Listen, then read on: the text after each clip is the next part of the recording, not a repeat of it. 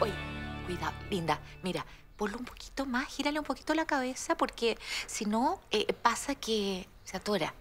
Y se está quedando dormido. Es que justamente no se puede dormir, titita, porque cuando se duerme le viene como el regurgito. Levántalo un poquito. ¿A ti te importa si nos da un poquito como de espacio, Mariluz, porfa?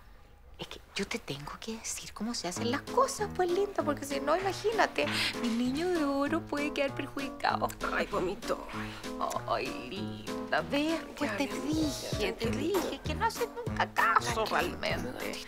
A ver, a ver, cuidado, déjame, déjame, déjame ayudarte.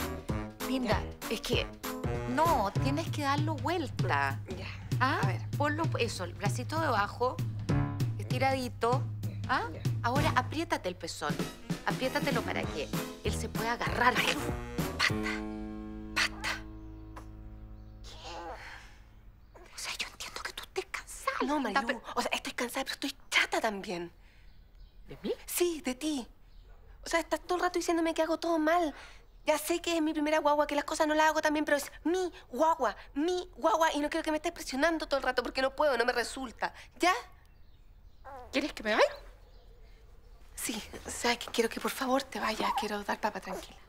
puedo creerlo. O sea, lo encuentro de verdad lo más injusto que hay. O sea, he hecho cualquier cantidad de sacrificio para venirme hasta acá y ayudarte tú nada. Marilu,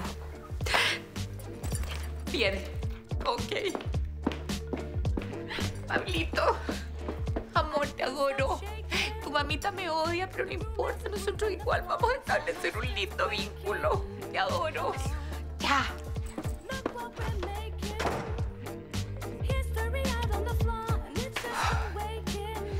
perdón, mi amor. A la papita juntos ya. Ahora nos va a resultar.